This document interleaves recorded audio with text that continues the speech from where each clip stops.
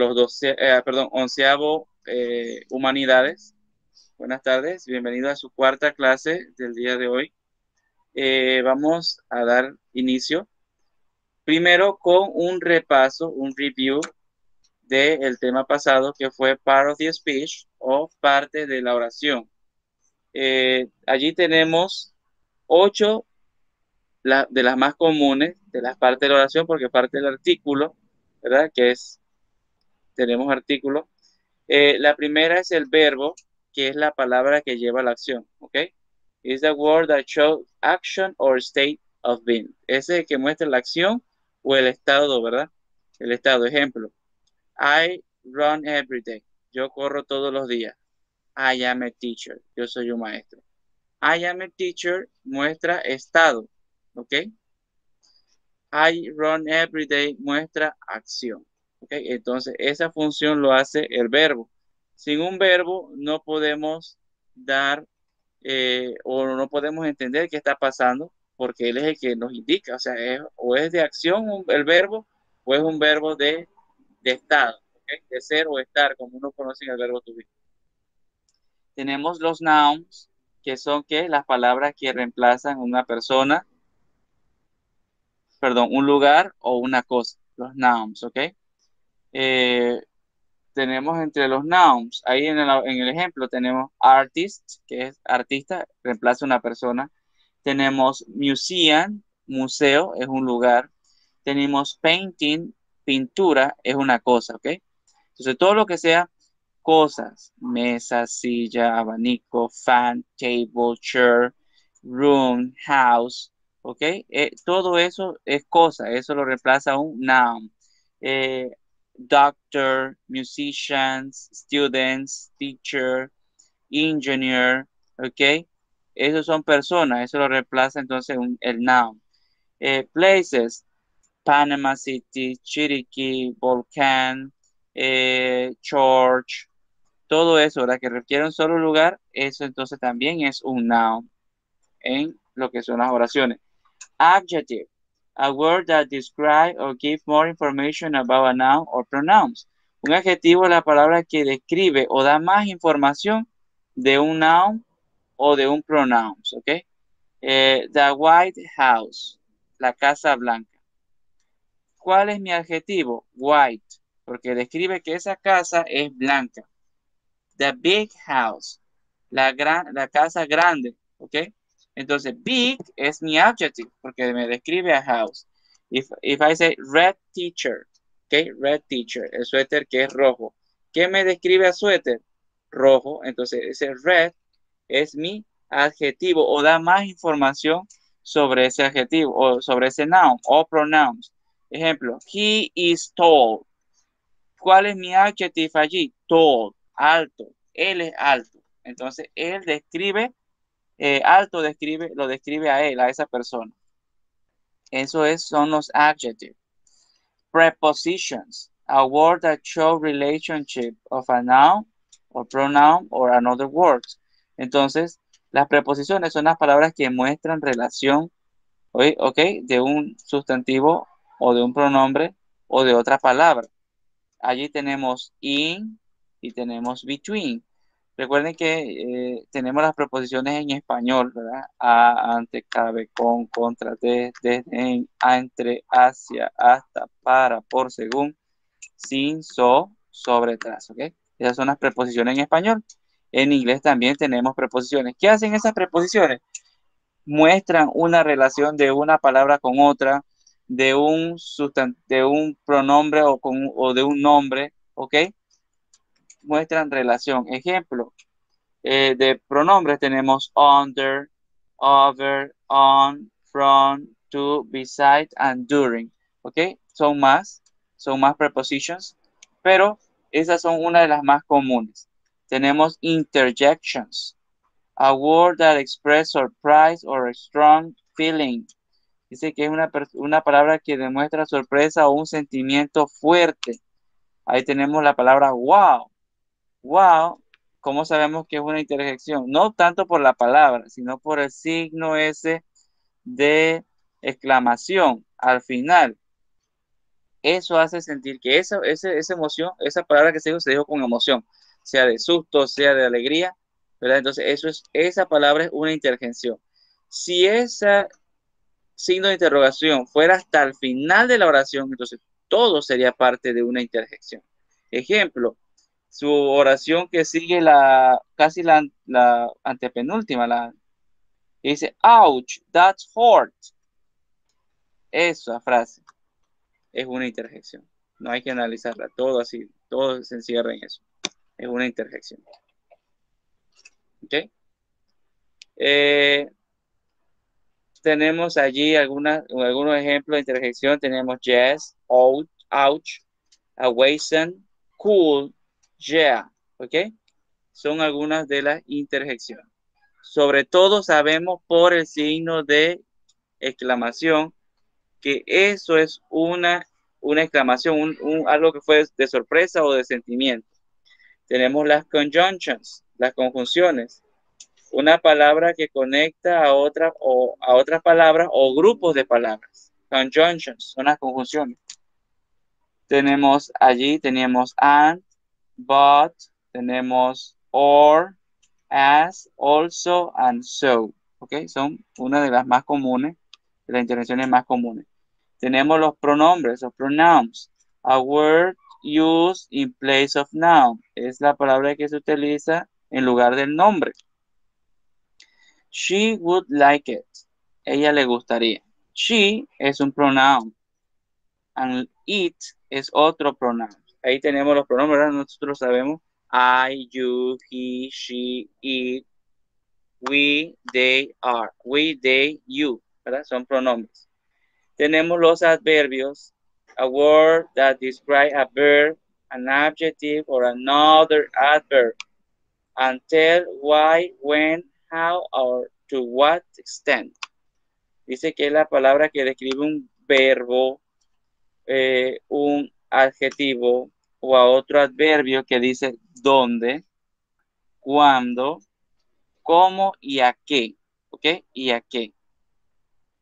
Eh, allí tenemos algunos ejemplos de adverbios. Quickly, happily, strongly, soon, very, badly, patiently. La mayoría de los adverbs, no todos, pero la mayoría terminan en Y. La mayoría, no todos, nuevamente les digo. ¿Verdad? Son adverbios. Estos son, eh, o este fue el tema que dimos la semana pasada. Incluso con esta información hicimos un análisis de las oraciones que, que continuaban en la siguiente página. Ahora, Ahora vamos a hablar sobre lo que son adverb of frequency, ¿verdad? La última parte que vimos allá en part of the speech, en la página 16. Adverb of frequency. We use some adverb to describe how frequently do we do an activity. Utilizamos algunos adverbios para describir qué tan frecuente nosotros hacemos una actividad. ¿Ok? ¿Qué tan frecuente nosotros hacemos una actividad? Allí tenemos una pirámide invertida. ¿Ok? Ahí tenemos dentro, al, el título dice Adverb of Frequency, adverbios de frecuencia. Tenemos la primera que dice 100%, 100%, always, always, ¿qué significa siempre siempre, always, ¿ok? Always. I always take a shower. Yo siempre me baño, ¿ok? Siempre me baño. I always take a shower. Eso quiere decir que siempre, siempre, siempre, sin excepción, usted se baña, ¿ok? Usually, usualmente, ese habla de un 90%. I usually take a shower. Yo uh, usualmente por ahí me baño, ¿verdad? de siete días me baño cinco. Bueno, usualmente usted se baña. No está mintiendo porque dice que es un 90%. Frequently, frecuentemente, un 80%. Ya las posibilidades de bañarse están bajando, ¿verdad? I frequently take a shower. Yo frecuentemente me baño, ¿verdad? Eso quiere decir que de siete días, tres días, cuatro días por ahí es que le toca ducha. Los demás días no se baña. Often, a menudo, un 70%, ya casi que no hay agua, ¿verdad? I often take a shower. Yo a veces por allí me baño, ¿verdad? Ya de siete días, dos días se está quedando, o tres días que nada más toma baño. ¿Qué pasa con sometimes? Ya sometimes, la mitad. La mitad, sometimes, a veces. 50%, eh, dice. Occasionally, 30%, ocasionalmente. Seldom, rara vez, ¿ok? 10%. Ya nada más le queda un día para que se bañe, o un día de baño. Rarely, muy rara vez. Ya ahí ni al día. Y never, nunca, ¿verdad? 0%. No se hace nada allí. Dice el ejemplo, I always go shopping after work. Yo siempre voy de compras después de trabajar. ¿Ok? Siempre. O sea, de seis días que usted trabaja, los seis días pasa por, por allá por los almacenes de calle Cuarta, calle Quinta, no sé por dónde están los almacenes, va allá al, al, al mall de acá Chiriquí, o si no va al otro mall, o si no va al terrenal, pero todos los días usted sale y pasa allá a comprar, ¿verdad? In questions, use how often. En preguntas se utiliza cuán a menudo, how often, cuán a menudo, ¿ok? How often do you read the newspaper? ¿Qué, ¿Con qué frecuencia o con qué frecuencia usted lee el periódico? ¿Ok? ¿O qué tanto usted lee el periódico? I usually read the newspaper. I usually read the newspaper. Quiere decir que un 90%. Quiere decir que de 7 días, 6 días él lee el periódico. O ella lee el periódico. ¿Ok? I usually. Si hubiese dicho I always read the newspaper, yo siempre, o sea que de los 7 días, los 7 días lee el periódico. Activity 2. Preguntas hasta aquí. Chicos, preguntas hasta aquí. ¿Estamos claros con los adverbios de frecuencia? Sí.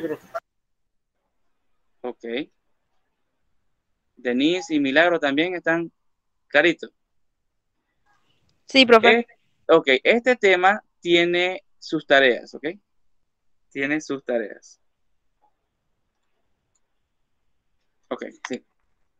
Tiene eh, la página 16 y 17 para tareas, pero nosotros, yo les voy a ayudar a hacer por lo menos dos oraciones de una y de las otras les voy a ayudar a hacer allí otras. O sea, que nada más les quede menos para hacer porque también tenemos un mensual. How often? Tenemos ahí daily routines and adverb of frequency. ¿Ok? Rutinas diarias y adverbios de frecuencia. Allí tenemos seis adverbios de frecuencia en ese cajón, lo están viendo en la página 16. Y tenemos la pregunta, how often? ¿Ok? How often? Dice la número uno. How often do you do your homework? ¿Con qué frecuencia usted hace su tarea? ¿O qué a menudo hace usted su tarea? Alguien que me responda si sea en español y después lo pasamos al inglés. Utilizando never, often, always, seldom, sometimes, usually. ¿Verdad? Basándose en esa, en español la tenemos. ¿Qué a menudo usted hace su tarea?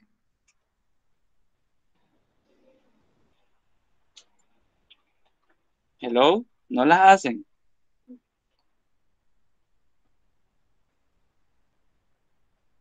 Ok, vamos a decir, Usually, okay. I usually do my homework on Monday.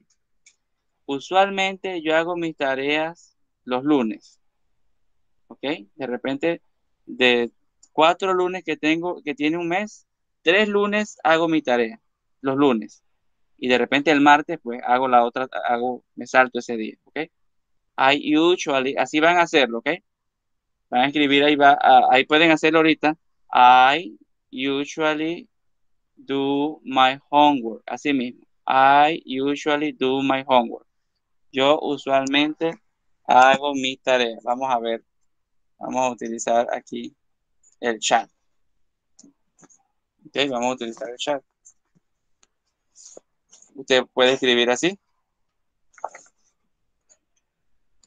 Usted escribe así. Vamos para allá. Déjeme chance, que estoy más enredado.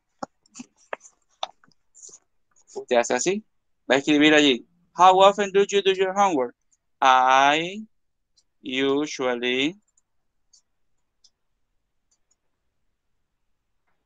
okay, I usually do my homework.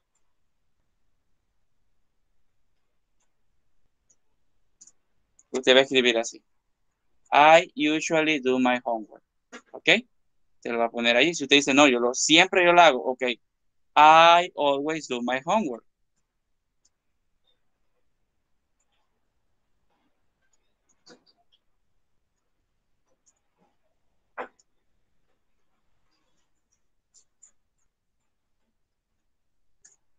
¿Ok? Y si usted lo hace siempre, I always do my homework. Si usted nunca la hace, I never do my homework. ¿Ok? De repente le paga a alguien para que la haga. Entonces, vamos a ver. Esa era la primera. La segunda dice, How often do you talk to your friend? ¿Con qué frecuencia tú hablas con tus amigos, con tus amigos o tus amigas? ¿Con qué frecuencia?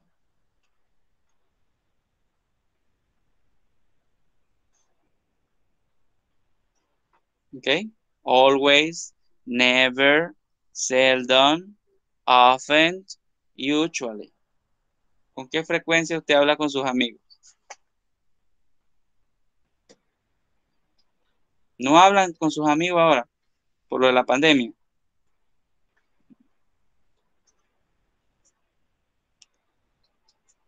Ah, ok. I sometimes, perfecto. Solamente, solamente Roy allí, en vez de do, debe ser talk, que es el verbo. ¿Ok? Talk. I sometimes talk to my friend. Perfecto. Ah, yo a veces hablo con mis amigos. Sí, porque a veces uno está ocupado, entre uno está estudiando, está trabajando, tiene familia, se le acorta mucho el tiempo a uno. I sometimes talk to my friend. Excellent.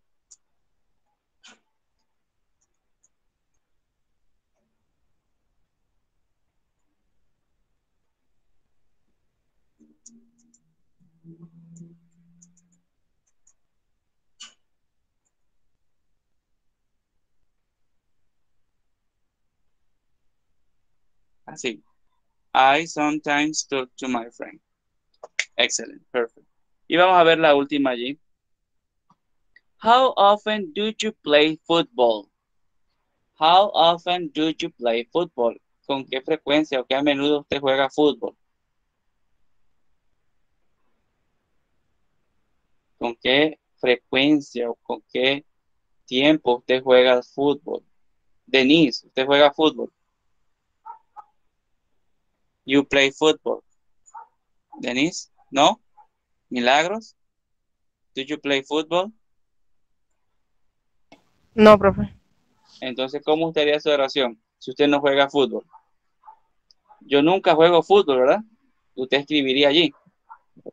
Entonces sería así. I never play football. I never played football. Así. I never play football. Yo nunca juego fútbol. Si usted juega fútbol todos los días, porque hay personas que son deportistas. I always play football. Ya no juega fútbol porque tiene otras ocupaciones. I sometimes play football. ¿Ok? Si ya casi muy poco juega fútbol. I mm, seldom play football. Yo rara vez juego fútbol, ¿verdad? Entonces, eso es allí con respecto a lo que son adverb of frequency using daily routines. ¿okay? Eh, la siguiente sería, how often do you play computer games? ¿Con qué frecuencia usted juega eh, juegos a computadora? How often do you eat with your family? ¿Con qué a menudo usted eh, come, ¿verdad? Con su familia. How often do you clean your rooms? Con qué frecuencia usted limpia su cuarto, ¿verdad? Esas son las tres que quedan para que ustedes las realicen como tarea. Vamos a ver la otra parte que es there is, there are. Preguntas hasta allí antes de comenzar. There is, there are.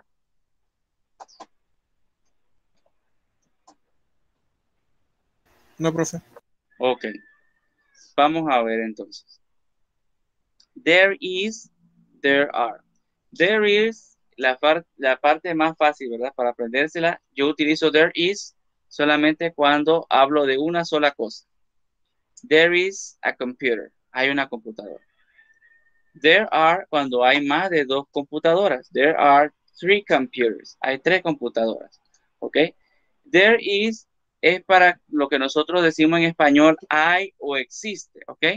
We use there is and there are to say something exists. Decimos o utilizamos there is o there are cuando queremos decir que algo existe. ¿Ok? O, o hay. ¿Ok? Entonces ahí vemos abajo que dice there is singular uncountables. Dice que para un solo, algo que es singular, un solo objeto o algo que no se cuenta. There are para el plural. ¿Ok? Cuando ya hay más de dos elementos, entonces utilizo there are. Este se divide en positive, positivo, negative, negativo, interrogativo, interrogativo. There is para una sola cosa. There is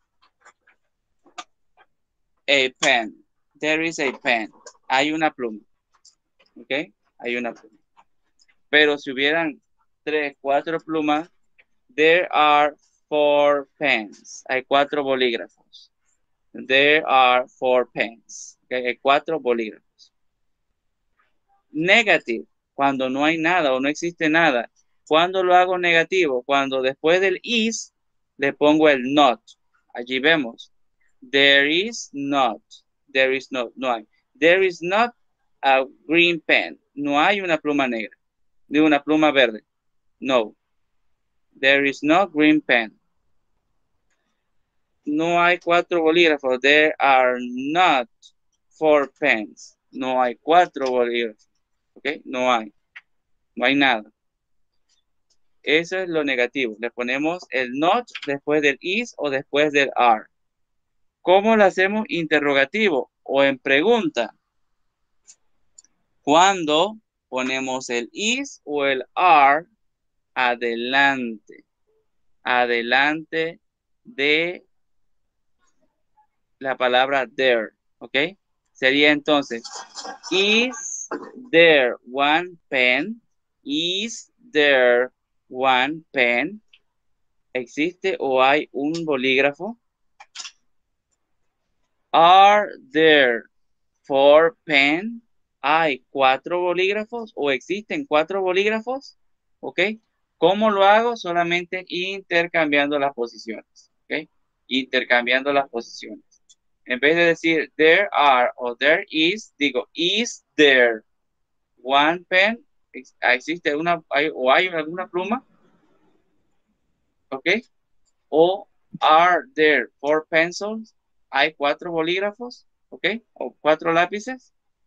Eso es la forma de utilizar there is, there are. En negativo, en positivo y de manera interrogativa. ¿Tienen alguna pregunta hasta allí, jóvenes? No, profe. ¿Alguna duda? ¿Algo que tengo que explicar de nuevo? Yo lo hago sin ningún problema. No, profe. Ok. Vamos a ver la actividad, que es parte también de la tarea. Dice, type there is or there are in the box below. Hay que escribir there is or there are aquí en, en las líneas. Recordándonos que there is solamente para lo que es singular o para un solo objeto. There are cuando hay más de dos objetos. Dice la primera oración. Five pens in the desk in the box. Five pens in the box. There are, okay, there are five pens in the box. Pueden ir escribiéndolo para ir adelantando la tarea. There are. La primera es there are. La segunda, a car in the garage. A car in the garage. There is. There is a car in the garage. Okay, hay un carro en el garaje o en el taller, porque garage también significa taller. Dice la número 3. Some books on the desk, on the table. Some books on the table. Yes, sir. There are.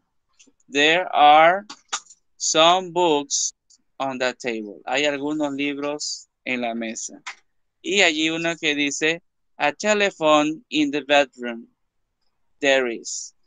There is a telephone in the bedroom. Hay un teléfono. ¿Dónde? En el cuarto. Y la última allí, pues para dar por culminado esta parte de there is. Two tables in the kitchens. Oh, excellent, mister. There are two tables on the kitchen. Perfect. De allí hacia abajo, entonces ustedes van a terminarlo en casa, ¿ok? Van a terminarlo en casa como tarea. Obvio, me van a copiar las 10 y de la otra también todas las otras para calificarlo. Viene la parte graciosa del asunto, que es el examen mensual. Hasta aquí estamos bien con los adverbios de frecuencia there is y there are. Chicos. Sí, profe. Ok, no hay ningún problema. Todo está clarito como el agua. Sí. Bueno, espero que sí, sea así. Eh, esto es con respecto al tema de hoy y las tareas para la siguiente clase. ¿Ok? Que sería para el día 30. El día 30 tenemos examen mensual. ¿Ok? Tenemos un examen mensual. ¿Qué vamos a hacer del examen mensual? Perdón. Abajo de esto dice en la página 17, search a picture and identify and write minimal 12 sentences using there is and there are. Ok, usted va a agarrar una figura. Puede ser un paisaje, puede ser un cuarto, lo que usted quiera, ¿verdad? Y usted va a hablar. Ejemplo, tengo este que está aquí, ¿lo pueden ver? Este cuaderno de la niña. Este es un cuarto, este es como un cuarto, ¿verdad? Entonces, ¿qué yo voy a hacer? Yo voy a utilizar there is y there are para describir lo que estoy viendo aquí en este cuadro. ¿Ok? Ejemplo, ¿cuántas chicas hay allí? Sería, ¿verdad? Ejemplo, there are four girls. There are four girls. Hay cuatro muchachas. Ustedes van a hacer 10 oraciones describiendo la imagen o lo que ustedes ven en la imagen que ustedes quieren. ¿Ok? Ustedes van a buscar su imagen si quieren un paisaje de un bosque, quieren una casa, quieren un parque, ¿verdad? Una cocina. Ustedes van a elegir la imagen que ustedes más se sientan confiados y la van a describir. Ejemplo, there are four girls. There is an ice cream. There is a lamp. There is a picture or a photo. ¿Ok? ¿Qué más? There is a eh, head speaker esto que tiene la muchacha aquí en, la cabeza. O hand free, antes también se le decía hand free. ¿Ok? ¿Qué más? There is a purple white room, ¿verdad? Estoy describiendo el cuarto. Eh, de repente se hay un objeto en el piso. Eh, there is a plant here. There are a plant here. Hay unos cactus. There are some cactus here. No se ve muy bien. There are some cactus here. Okay, there are some books here. Some books. Y entonces así voy describiendo. There are three balloons. Ok, eso es lo que usted va a hacer en su examen. Pero usted va a escribir esas 10 oraciones que usted está describiendo es, eh, la imagen y la imagen y ese, eso lo van a poner allí como evidencia. Yo les voy a hacer el espacio en la plataforma y usted va a poner la imagen que va a describir las 10 oraciones que estaba describiendo y usted lo va a decir, ¿ok? Esa va a ser nuestra parte oral. Y nuestra parte escrita, que es el 50%, es esto que está aquí, eh, la imagen y las oraciones. ¿Me explico, jóvenes? quiere escucharlo a los tres, porque si no, entonces vuelvo a explicar nuevamente, porque eso es, ese va a ser nuestro examen mensual el día 30 de octubre. Consta de dos partes, la parte que es la escrita, que es su imagen, puede ser del tamaño de una 8 y medio por 11, que se va bastante bien cuando usted prenda su cámara y la ponga así, yo la pueda ver. O si usted quiere, bueno, si quiere compartir pantalla y lo quiere hacer en PowerPoint, eso me lo tiene que enviar también. Eh, lo escrito, las 10 oraciones, trate de no leerlas, pero téngalas allí como evidencia de que usted está trabajando. ¿Por qué estoy utilizando there is y there are? Porque allí estamos utilizando qué? Estructura, que es lo que estábamos viendo de allá de las oraciones. Estamos utilizando algo de estructura. Estamos viendo también, eh, ah, recuerden que como es un examen oral, usted tiene que decir, good afternoon teacher, eh, I am John Rios. Eh, I'm going to present my, my picture. Okay? Ejemplo, una introducción. No se pueden así decir, ok, teacher, there is, there are. No, recuerden que hay que hacer una presentación. Eh, después, entonces, puede comenzar a describir su imagen. ¿Ok? La creatividad depende de ustedes. Usted me dice, profe, no, yo voy a hacer un PowerPoint y voy a compartir pantalla. Bueno, perfecto, no hay ningún problema. Lo único que esa imagen que usted está describiendo y las oraciones que está diciendo de esa imagen, usted me la tiene que enviar en la plataforma para yo evaluarla en la parte escrita. La parte oral, entonces, es lo que usted va a decir de esa oración el día 30, eh, de esa imagen el día 30. ¿Estamos claritos allí, jóvenes? ¿O no? Sí, profe. Eh, Sí. Milagros y Denise. Ok, miren, si tienen de repente alguna duda o algo, yo creo que ustedes tienen mi número de teléfono, si no, hablan con, la, con el instituto. Eh, yo les, ustedes me chatean o me llaman, yo les contesto y les puedo dar, porque de repente a uno se le olvida, ¿verdad? En el momento está clarito, pero cuando salimos del salón de clase a los dos, tres días, ay, ya la vida, ¿qué fue lo que me dijo el profe? Entonces, cualquier consulta, cualquier duda, estoy para ayudarles, ¿ok? Eh, recuerden la tarea de la página 16 y la página 17, ¿ok? Eso también, eh, primero Dios, entre hoy y mañana estoy haciendo el espacio para entregar eso, para que entreguen, eh, abrir el espacio para que entreguen eso. Y a ver si consulto lo de la primera tarea para la que no pude entregarla, la entregue y así no quede pendiente de tarea de octubre para noviembre. Consultas, preguntas, chicos. No, profe. Eh, ok, vamos. Vamos a detener la grabación. Entonces,